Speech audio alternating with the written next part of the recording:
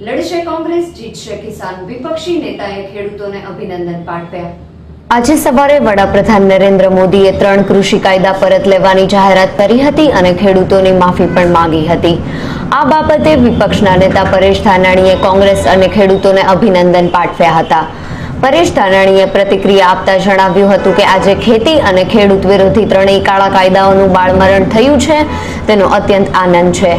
નવી East India કંપનીઓ દ્વારા કૃષિ ઉપજને પાણીના ભાવે પડાવી લેવાના ષડયંત્ર સમાન કેન્દ્રીય કાળા કાયદાઓને રોકવામાં મળેલી ભવ્ય સફળતા બદલ કોંગ્રેસ તથા ખેડૂતોને અભિનંદન પાઠવ્યા હતા.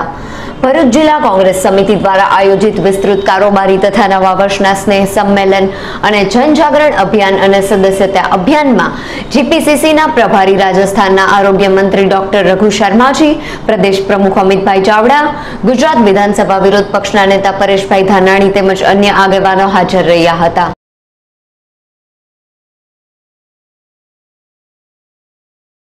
જય જય મોદી સરકાર નિભાવવાની. રાજસ્થાન સાતસો લોકો ખેડૂતોએ સહાય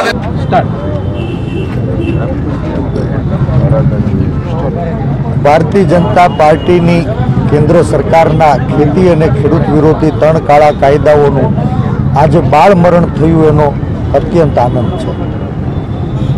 ભારતીય જનતા પાર્ટીના શાસકોએ એના મુઠ્ઠીભર મિત્રોને માલામાલ કરવા નવી ઈસ્ટ ઇન્ડિયા કંપનીઓ મારફતે કૃષિ ઉપજોને પાણીના ભાવે પડાવી લેવા, ખેડૂતને ખેત મજદૂર બનાવવાના ષડયંત્ર સ્વરૂપ ત્રણ કાળા કાયદાઓના બાળ મરણથી આ ષડયંત્ર સમાપ્ત થયું હોય એવો અહેસાસ દેશના ખેડૂતોને થઈ રહ્યો છે.